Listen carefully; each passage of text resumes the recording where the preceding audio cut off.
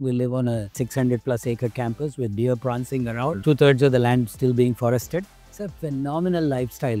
I have reached a conclusion after having lived 14 years of my professional life in the US, 14 years of my professional life as a faculty member in India, that an individual in their professional life gets paid in two currencies. There is one currency that gets deposited on your bank account every or the first of every month.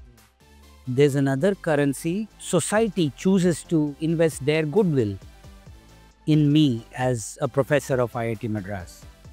And that is that second currency is irreplaceable and uncon- inconvertible to the first currency. Yeah. IIT Madras, is it the best place to build a faculty career? 100%. I can, I, I'll say IITs broadly in India, but I'll talk to IIT Madras. Our faculty here are encouraged in every way possible to lead a multidimensional life. You know, you have teaching, you have research, you have industry engagement, government engagement, societal engagement, entrepreneurship through startups, and advisory.